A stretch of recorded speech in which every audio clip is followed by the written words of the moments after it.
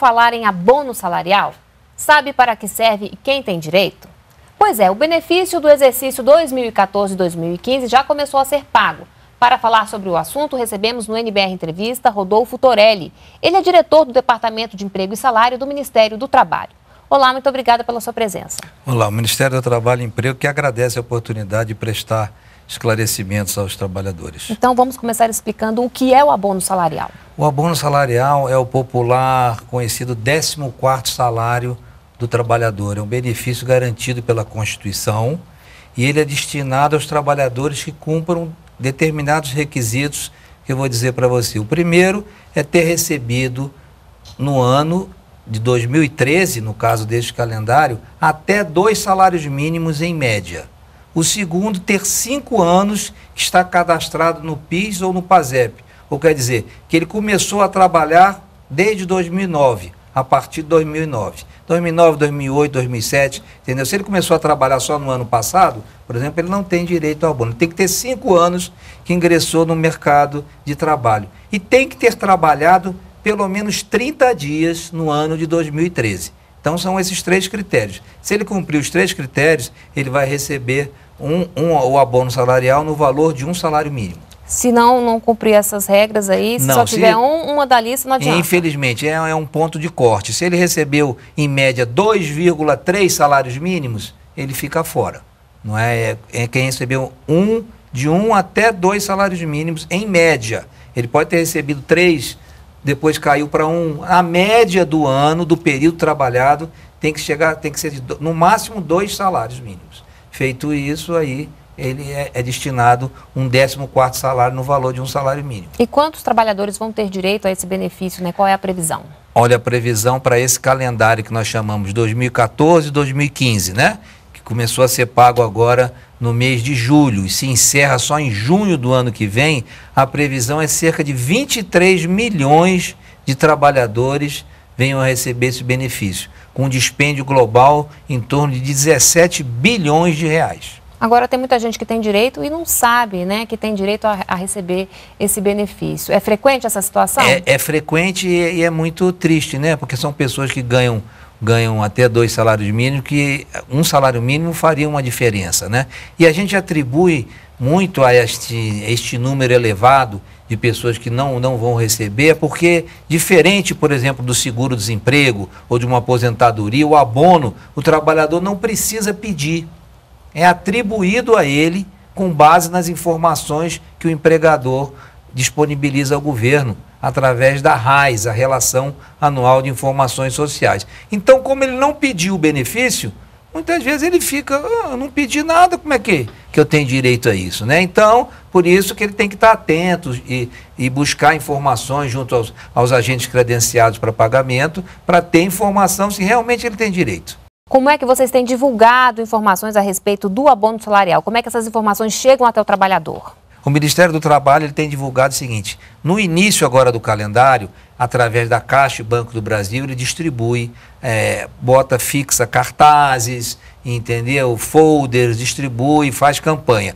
No final, a partir do momento que a gente vê aqueles trabalhadores que não vão receber, a gente busca o endereço e manda uma carta para a casa do trabalhador ou para o endereço que ele trabalhava naquele ano, entendeu? Para tentar achar. Mas para você ter uma ideia, o calendário que encerrou agora, que foi de, de, de 2013, 2014, 5% dos trabalhadores não foram receber. Deixaram de receber cerca, todos somados, quase um bilhão de reais e perdeu o prazo, não tem mais jeito. O, o dinheiro retorna ao, ao, Fundo de Amparo ao Trabalhador e é reaplicado na, nas políticas do, do, do, do, Fundo de Amparo ao Trabalhador. E qual é o passo a passo para o trabalhador? O que, que ele deve fazer para sacar esse dinheiro, a pessoa que tem direito? Bom, a pessoa que tem direito simplesmente é observar o calendário. Existe um calendário para quem recebe PIS, que normalmente são as pessoas que tiveram seu primeiro emprego junto à iniciativa privada, ele é um calendário que é pela data de aniversário.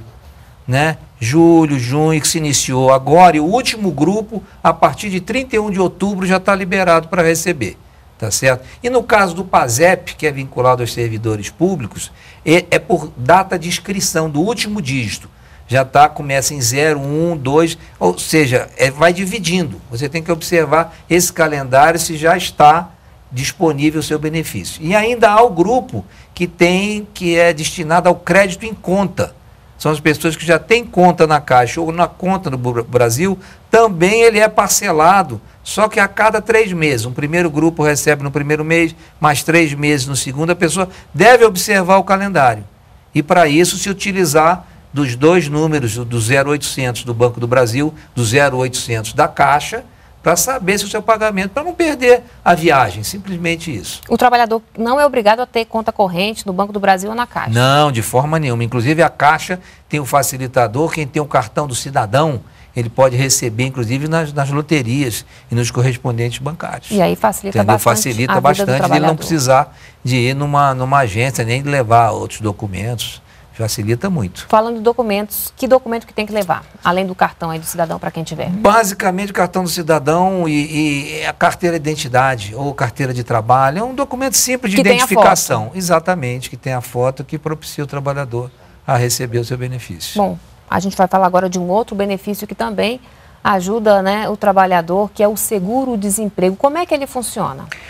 Bom, primeiro é importante esclarecer que no Brasil existem cinco modalidades de seguro-desemprego. O seguro-desemprego, nós vamos falar com mais detalhes da, da modalidade mais de maior volume.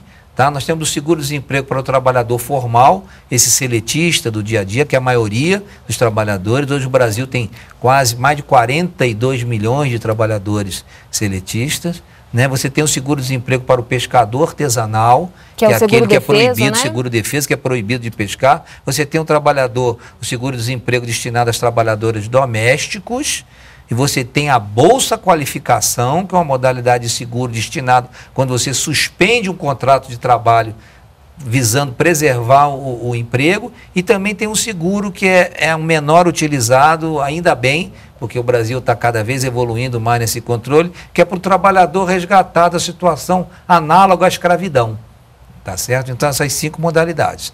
Mas nós vamos falar, então, prestar mais informações para você na modalidade principal, que é o seguro-desemprego para o trabalhador formal. Quem é que tem né? direito, no caso? Quem tem direito?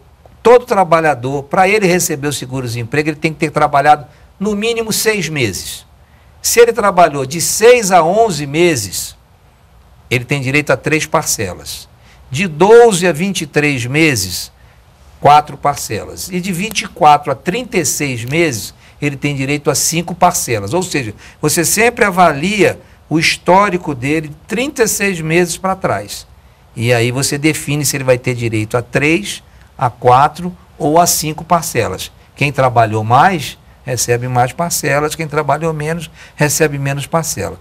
E ele só pode ser concedido uma vez a cada 16 meses. Então há limites, não pode ser há todo limite, ano. É, é, é, o que a gente chama o período aquisitivo. Então não adianta você receber um seguro, arranjou um emprego, em seguida perder o um emprego dois meses, acha que já vai, já vai sair. Não, não, não, não, não, não é isso. E você não, não, não vai ter direito. E é importante frisar que o nosso programa Seguros Emprego não é só o pagamento do benefício o programa é, é um tripé, é pagamento de benefício, auxílio na busca de um novo emprego e qualificação profissional. Tá? O seguro tem que ser sempre a última alternativa. Ele vai requerer, você primeiro busca um emprego. Se tiver um emprego, é o ideal que ele volte ao emprego imediatamente. Porque o período de seguro que ele vai ficar não conta depois como tempo de trabalho para uma, uma aposentadoria. Entendeu? E ele vai queimar ali uma oportunidade pode fazer falta para ele daqui a seis meses. Então, se tiver um emprego, retorne de imediato. Que se sair, ele, aí sim ele vai, ele vai para o seguro-desemprego. Então a gente tem que valorizar muito esse, esse tripé. Programa seguro-desemprego, é pagamento de benefício, intermediação de mão de obra, ou seja, recolocar o trabalhador no mercado e qualificação profissional. A partir de que momento o trabalhador pode fazer, eh, requerer esse benefício? Olha, o trabalhador, a partir de, do sétimo dia, de sete dias depois que ele perdeu o seu emprego, ele pode ir de uma agência, do Cine ou da Superintendência do Trabalho, entendeu? E requerer o seu seguro-desemprego. Antes, o pré-requisito é que ele tenha feito já o seu saque do FGTS entendeu? É, uma, é, um, é um mecanismo de, de controle, ao mesmo tempo de, de comprovação de que realmente ele foi dispensado sem justa causa e sacou. Com base nessa informação, com base na carteira de trabalho e com base com todos os cruzamentos que a gente faz, porque o nosso sistema, quem roda o sistema do seguro-desemprego é a DataPrev. É a mesma empresa que, que roda os sistemas do INSS, que paga aposentadoria, pensões. Então, nós fazemos um cruzamento com toda a base de informação, se essa pessoa tem outro emprego, se ela tem outra renda, todos os tipos de cruzamentos, e aí emitimos o cheque. Tá? Então, o cheque, toda semana, roda um lote de pagamento do seguro. Vai dependendo da data da demissão da pessoa e o período, e esses cheques, vão, esses lotes vão sendo emitidos, e aí, no caso do seguro-desemprego, só a Caixa que paga o seguro-desemprego.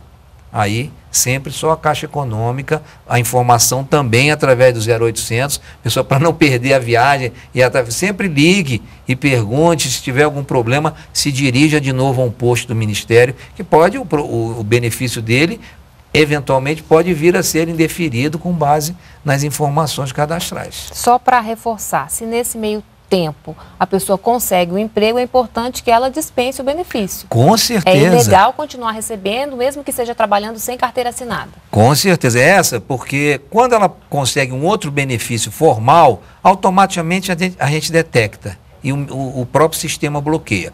Agora, se ela arranjar um outro emprego informal, né, nós não temos como pegar, que não temos, só com uma fiscalização em loco eventualmente se pega a fiscalização do trabalho, mas hoje ela trabalha mais com relatórios de, de, de, de inteligência, é, é, é muito raro que isso aconteça. Mas aí o principal prejudicado é o próprio trabalhador. Ele acha que está ganhando dois salários, esse tempo de serviço ele vai ter que cumprir já numa idade avançada, entendeu? Ele não recolhe FGTS, ele não recebe é, vale transporte nesse período. Eu acho que o, o maior beneficiado nessa situação seria o mau patrão que, na verdade, estaria fazendo um conluio com, com, com esse trabalhador que está cometendo uma burla e, e, e ele está sendo prejudicado. Como é que é o pagamento do, do, valor do abono, né? Quem ganha mais tem direito a um valor maior do que quem ganha menos? É proporcional? Como Não, é que vocês o abono salarial cálculo? é fixo, é um salário mínimo para todos. Já o seguro-desemprego não. Varia o número de parcelas, que pode ser três, quatro ou cinco, que podem ser interrompidas a qualquer, a qualquer momento. Ele recebeu a primeira, arranjou outro emprego, se interrompe o benefício. E o valor do, do, do seguro-desemprego, o valor mínimo é um salário mínimo. E o valor máximo é R$ 1.304. E, se eu não me engano, 26 centavos.